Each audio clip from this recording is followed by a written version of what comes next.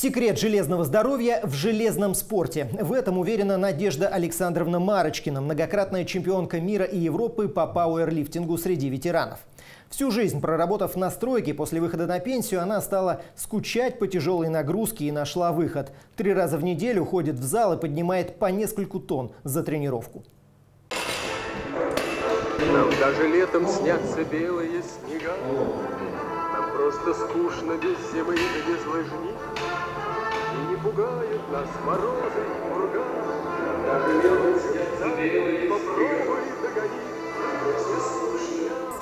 пенсионеров у нас такой. Бабушки, это и в моих глазах тоже, на- на- сидят на лавочках, сплетничают, худеют все шире и шире, килограмм до 150. И в результате что? Болячки. То колени болят, то спины болят. Когда я иду, они все говорят, Надь, как ты хорошо выглядишь, нам бы так. Я говорю, со мной давайте в зал, в зал, в зал. И А вам сколько лет? сидят. 66, 66? да. Это все зал.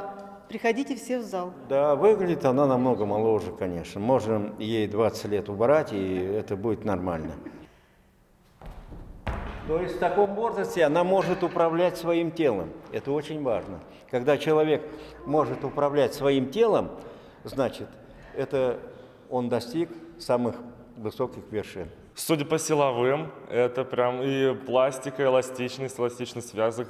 То, что сейчас тут кол- колесо наделал, это просто, ну, не каждая молодежь сможет это сделать. Ей 66 лет. А вот вы ей дадите 66? Я не, я не дам. Ни в как- коем случае, ни в коем случае. Максимум лет 35. Вот.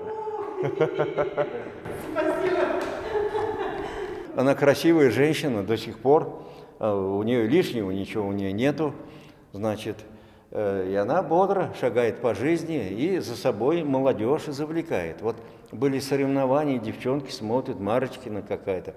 Э, Многие хотят быть на нее похожи. Первая специальность маляр штукатур, а по большому счету по реставратору я училась. Ну, это такой же, как маляр штукатур, только более утонченная работа здесь. И так как уже работу я закончила маляра штукатура, а мышцы попросили нагрузки, встретила знакомых ребят, пригласили в зал сюда, именно в этот зал. Пошла подкачать мягкое место и до сих пор качаю. А зачем? Кто-то же обходится. Ну, а мне так и нравится. Хочется выглядеть всегда хорошо. Вот такой вот. А вам слабо? Я ее знаю с 74 года, вместе бегали на лыжах, были результаты. Потом мы ее пригласили, были турниры, У нам не хватало женщин, бушуйский турнир был, обязательно женщин. Мы ее попросили, у нее пошло в тяжелой атлетике. То есть с каждым выступлением результат у ней повышался. Это все мое, это мои награды, мои победы. Здесь все победы. И это Ни одного, ни одного проигрыша, я считаю. Чемпионат Европы, чемпионат мира, победы местного назначения, районные, областные. Сколько э, Всего меня 53 медали. А какая самая сложная победа? Все сложные. Всегда начинать тяжело, и все дается с большим трудом. Не потрудишься, ничего не заработаешь. Секрет ее побед – это целеустремленность и здоровый образ жизни.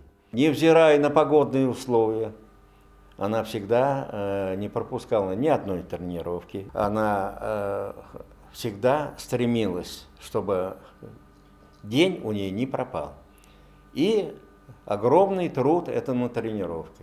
Вот несмотря на красивую фигуру, ей приходилось ну, где-то до 7 тонн ворочать. Вообще, это м, тренировочный подход 50 килограмм. Лучший результат 120 килограмм. Чемпионат был Европы в Геленджике, то есть в Новодвинске в прошлом году. Прошлая весна была, 28 мая. Вопросов нет, делайте. Просто сейчас лето, я нагружаю себя сильно, отдых даю. Будем готовиться к следующим соревнованиям.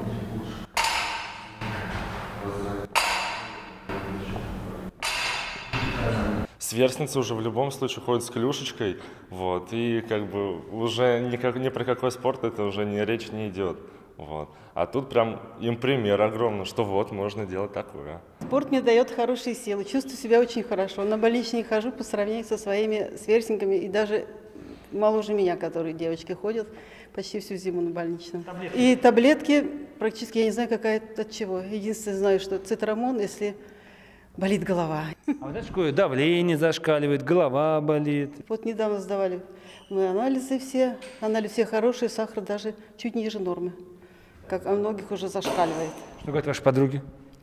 Не может такого быть. Я говорю, может, приходите в зал, будет у вас то же самое. Ближайшие соревнования, которым готовится Надежда, это чемпионат мира. И пожелаем нашей землячке удачи и золотых медалей. Александр Алешин, сеть НН.